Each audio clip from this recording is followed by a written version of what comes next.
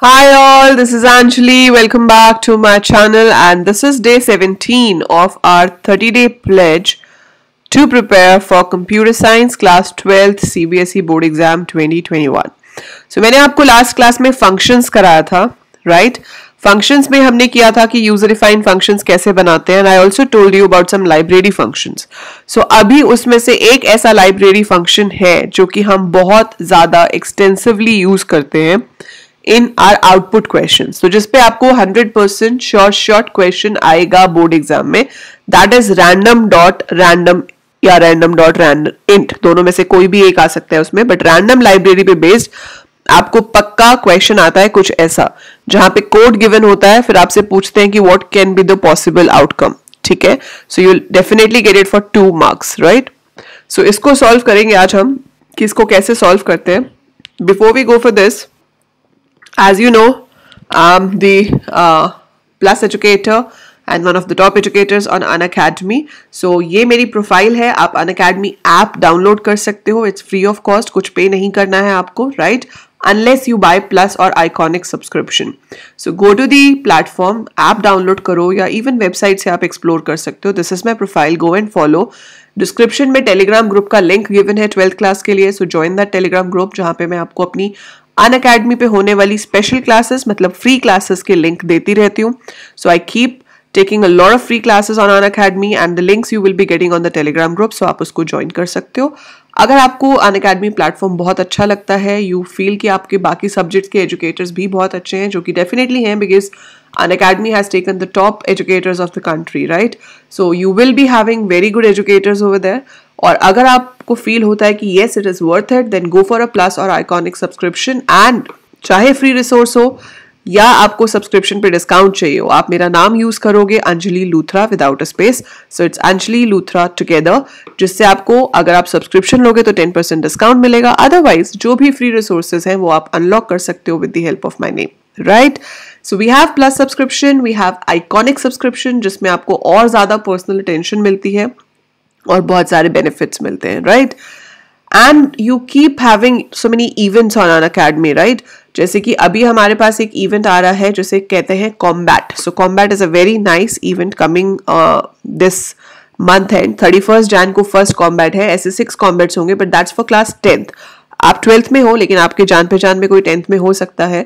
सो so, अगर कोई भी आपके नोन में टेंथ में है you can tell them to go on Unacademy and search for the event combat and register over there अगर वो कोई कोड पूछता है उसको रजिस्टर करने के लिए तो you can enter my name Anjali Luthra over there और क्या होगा? वहाँ पे मैथ्स और साइंस का टेस्ट होगा कॉम्बैट में। कॉम्बैट है क्या? मैथ्स और साइंस का टेस्ट होगा।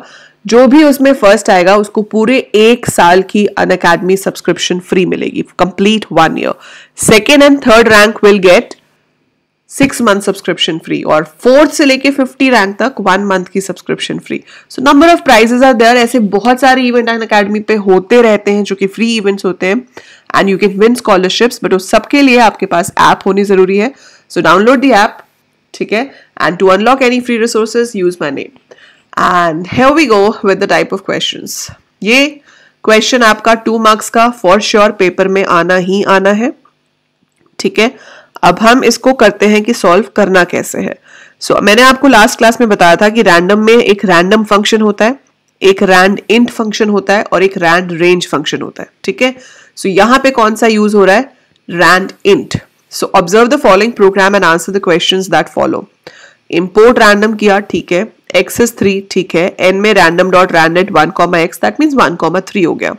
And then you can see a loop out है अब पहला क्वेश्चन पूछा है what is the minimum and maximum number of times the loop will execute so I told you rand and में दोनों लिमिट्स इंक्लूसिव होती हैं तो one will be the minimum value you will be getting out of it and three will be the maximum value you will be getting out of it so one सबसे छोटी value आपके पास आएगी three सबसे बड़ी, और possibilities क्या है?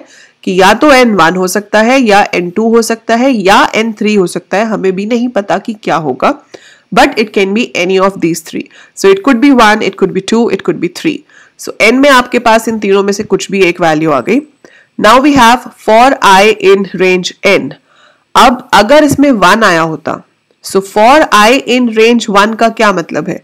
It will work only for zero है ना? ऐसे ही रेंज काम करता है कि जो एन दिया है वो तो कभी लेते नहीं है उसके एक कम तक जाता है और ज़ीरो से शुरू होता है by default so for i in range n अगर आई अगर आपके पास एन वन है तो it will work only for zero अगर आपके पास एन टू है तो it will work for zero and one अगर एन की वैल्यू थ्री है so it will work for zero one three so ये तो हमने पहले खुद ऑब्ज़र्व कर लिया. अब यहाँ पे कोड दिया हुआ है कि हम आई को प्रिंट कर रहे हैं और आई से अगली वैल्यू को प्रिंट कर रहे हैं. आपको बताना है कि इनमें से कौन से पॉसिबल आउटपुट्स हो सकते हैं. सो so, अगर आई ज़ीरो होता है तो उससे अगला नंबर वन होगा. ठीक है मतलब ये हो सकता है। आई अगर ज़ीरो है तो next number will be one this is a possibility yes अगर आई वन होता है तो उससे अगला नंबर टू होगा। Yes that is also a possibility ठीक है? अब क्वेश्चन को थोड़ा ध्यान से पढ़ो। देखो, मैंने इस चीज़ में इसको मिस कर दिया which will not be expected so two three भी हो सकता है। ठीक है?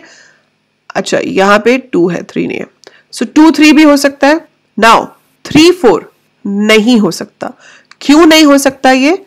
क्योंकि हमारे पास थ्री वैल्यू ही नहीं आ रही है। जो आपका आई है, या तो वो सिर्फ़ ज़ीरो रह जाएगा, या आई की वैल्यू ज़ीरो वन हो सकती है, या ज़ीरो वन टू हो सकती है। तो अगर ज़ीरो है तो ज़ीरो हैश वन प्रिंट हो सकता है। अगर वन है तो वन हैश टू प्रिंट हो सकता है। अगर टू है तो टू हैश थ्री प्रिंट हो सकता है। पर आई कभी भी थ्री होगा ही नहीं। आई कभी भी थ्री नहीं होगा तो थ्री हैश फोर भी नहीं हो सकता। So this can not be there this is not a possible answer ठीक है सो इसका आंसर क्या होगा? Option number four that is not a possible answer समझ आया? ठीक है? आई होप सबको समझ आ गया। स्टेप बाय स्टेप करना है इसमें आपको। Then you have this import random ठीक है? इसमें भी वही चीज़ बतानी है आपको कि क्या आउटपुट इसमें से एक्सपेक्टेड है। ये जो चार लिखे हैं, इसमें से कौन सा एक्सपेक्टेड है? And you have to tell the maximum and minimum value जो हम वेरिएबल गो को असाइन कर रहे हैं। सो वेरिएबल क्या है? गो आप उसको क्या असाइन कर रहे हो? तो स्कोर है twenty forty ten thirty fifty ठीक है? स्टार्ट में क्या है? Random dot randint one comma three अच्छा गो तो इसके अंदर है ही नहीं हमारे पास। गो कहाँ देखा मैंने? I just read go somewhere I don't know चलो, आपको बताना है वेरिएबल स्टार्ट क्वेश्चन चेंज हो गया। वही तो मैं सोच रही थी। यस हम तो ये वाला क्वेश्चन कर रहे थे। सम तो ये वाला क्वेश्चन कर रहे थे आपको गो की वैल्यू बतानी है। सो so, गो क्या है? Random dot rand zero comma three ये प्रॉब्लम होती है स्लाइड्स में। कोई की प्रेस हो गई स्लाइड ही चेंज हो गई। That is what I was thinking कि मुझे क्या हुआ। Okay so go is equal to random dot rand and zero comma three so minimum value will be zero maximum value will be three it's very simple so go में या तो zero आ सकता है या वन आ सकता है या to या थ्री ठीक है? Any of these values can be there फिर क्या लूप हो रहा है? For i in range go x i और फिर डॉलर डॉलर का साइन ठीक है? अब ये कैसे चलेगा? एक्स ज़ीरो पहली बार. ज़ीरो पे तो कुछ भी नहीं होगा. जब वन है तो सिर्फ़ एक नंबर प्रिंट होगा. तो इसमें से कोई एक नंबर वाला आंसर तो हमारे पास है नहीं. ये भी नहीं हो सकता. दो नंबर वाला है सेवेंटी फाइव और टेन लेकिन हम ज़ीरो से शुरू कर रहे हैं. We are starting from hundred इसमें मिसप्रिंट है. यहाँ पे दो डॉलर साइंस भी होंगे. सो so, सबसे पहला नंबर जो प्रिंट होगा वो हमेशा एक्स ज़ीरो होगा। मतलब शुरू तो हमेशा हंड्रेड से ही होना है। तो यहाँ पे साफ़ पता चल रहा है कि ये तीन नहीं हो सकते। क्यों नहीं हो सकते? क्योंकि आपका आई हमेशा कहाँ से शुरू हो रहा है? ज़ीरो से। एक्स ज़ीरो पे क्या है? हंड्रेड ये आपकी लिस्ट है। सो so, ज़ीरो पे हंड्रेड है वन पे सेवेंटी फाइव है टू पे टेन है थ्री पे वन ट्वेंटी फाइव है। सो ज़ीरो पे हंड्रेड है the first number to be printed should be hundred so इसमें सिर्फ़ यही वाला है जहाँ पे हंड्रेड प्रिंट हो रहा है। सो so, आपके पास आई मतलब हंड्रेड वाला प्रिंट हुआ फिर आई इंक्रीज होके वन हो जाएगा सेवेंटी फाइव प्रिंट हुआ फिर आई इंक्रीज होके टू हो जाएगा टेन प्रिंट होगा। Yes so option number one is the correct answer in this ठीक है? सो ऐसे कॉम्बिनेशन चेक करने होते हैं आपको। सो so, आप ऐसे ही ट्राई करोगे ये वाला एज वेल एज ये वाला। ठीक है? और आप कमेंट्स में लिख के बताओगे कि इसका आंसर क्या है? So write down the write down in the comments that what will be the answer of question this and question this right in case कोई डाउट है तो भी आप कमेंट्स में लिख सकते हो। I try to answer that as soon as possible otherwise आप लाइव क्लासेस अटेंड कर सकते हो ऑन अकेडमी पे टेलीग्राम ग्रुप पे पूछ सकते हो। There are so many option so never keep a doubt with you ask it out so that वो डाउट कभी रहे ना right that is it for this class I upload more. Keep watching, keep learning. Thank you.